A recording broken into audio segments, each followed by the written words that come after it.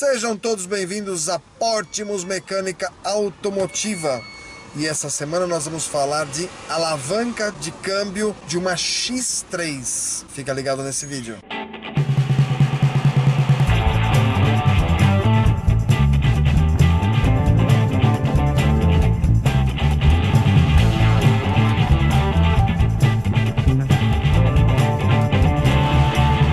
X3 2015. A reclamação do cliente é o seguinte: o carro está andando tudo direitinho, porém, quando você coloca a alavanca é aquela eletrônica, e aqui nós temos o P, tá vendo que ele fica iluminado. Juan, por favor.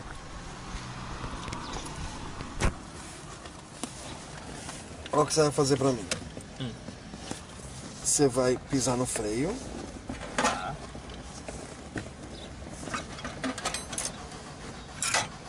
No freio da partida. O P está aceso, tá vendo aí verde? Agora você vai apertar o botão lateral e vai colocar no D. D acendeu? Sim. Muito bem. Aperta o botão lateral e enfia pro R. R apagou. Esse é o problema do carro. Agora, põe no N. No painel, mudou para N. Porém aqui, não acendeu N. Põe no D. Aqui, nada de D. Porém o carro já está no D. Anda normal. O carro anda normal, desenvolve tudo perfeitinho, porém o câmbio fica. Foi pro P? Foi. É, e o P não acendeu, tá vendo? Então o BO tá bem provável que aqui dentro é isso que nós vamos verificar. A gente vai primeiro tirar código de erro. Eu vou mostrar para vocês aqui no scanner. O scanner que nós estamos usando é o ISTA, que é o scanner original BMW, e ele está fazendo a varredura de códigos.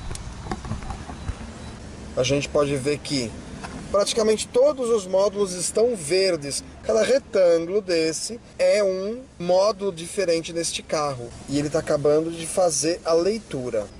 Muito bem, ó. o código de erro que dá é no GWS. A gente vai agora ler o código. GWS Functional Display Locator Light. Então é a luz de localização de que marcha está. Então ele diz que o problema está na alavanca. Nós vamos tirar essa alavanca inteira, tá bom? Nós vamos tirar esse console, desmontar tudo e aí a gente vai olhar dentro dela para ver o que, que pode estar tá ocasionando isso. Se realmente é alguma coisa que não tem como ser feito reparo, uma placa de circuito integrado, alguma coisa, ou se tem algum sensor, switch, alguma coisa que possa estar tá causando esse tipo de problema. Então a gente vai desmontar e já já a gente volta. Eu desmontei, essa é a alavanca e aqui é onde vai o, o botãozinho com o que vai lá marcado PNR, D, manual e automático. Eu desmontei. Por quê? O que estava acontecendo lá então? Quando punha na ré, você apertava o botão aqui e punha para frente, a luz da ré piscava e simplesmente depois disso ela entrava em modo de emergência, nenhuma luz mais acendia. Nós desmontamos a parte inferior, tá? Eu e o André, e, a, e verificamos que o circuito aqui estava direitinho. E aí eu falei, vamos desmontar em cima. Então eu tirei toda a parte onde vai os botões e tudo mais, tá vendo aqui? Essa partezinha vai aqui, não é? Então eu desmontei ela toda e o que que a gente verificou?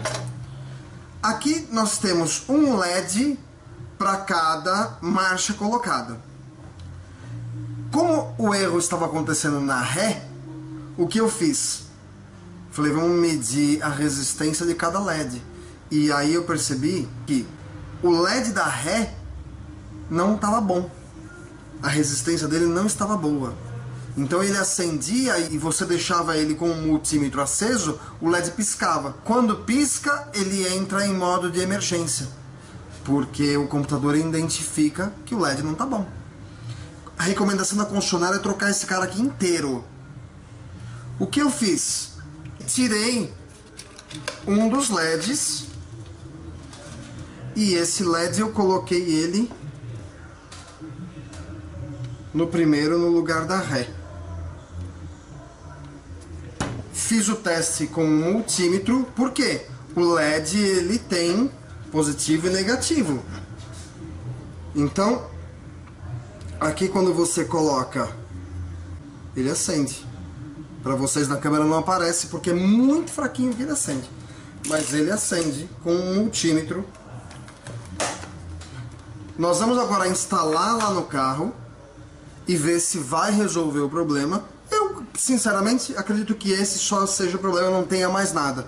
É, é muito trabalhoso, você está falando em muita mão de obra. Desmontar todo o console, fazer o diagnóstico, trocar o LED. Ó, o LEDzinho que foi trocado foi este carinha aqui, ó. Vou pegar aqui com a pinça.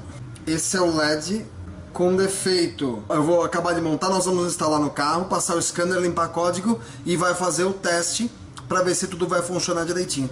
Fica ligado no final. Eu vou levantar o valor desta chave seletora e vou passar para vocês. E aí vamos ver se a gente vai se surpreender com o valor de um conjunto inteiro desse e quanto é que vai ficar só o reparo dessa placa. Aqui é o seguinte, ó, dentro da BMW, para tirar a alavanca, é isso que precisa tirar. É chatinho, cheio de clipezinho, tem que tomar um milhão de cuidado para você não amassar nada, não riscar nenhuma peça. Então é importante ter um mega cuidado com tudo que vai sair daqui. Nós trocamos então o LED. Antes o que acontecia? Você punha no N então aparece, D aparece e quando punha no R, ó, manual aparece e quando punha no R, ele dava o código de erro e aí tudo voltava, as luzes não acendiam. Agora tá aqui, ó. R aparece, aperta o P, ele volta pro P direitinho. N, R, N, D e manual. Certo? Aperto P, voltou pro P. Então o código de erro ele acabou. A concessionária, o que ela faz quando você vai com esse carro lá? Ela troca essa alavanca completa, o conjunto inteiro.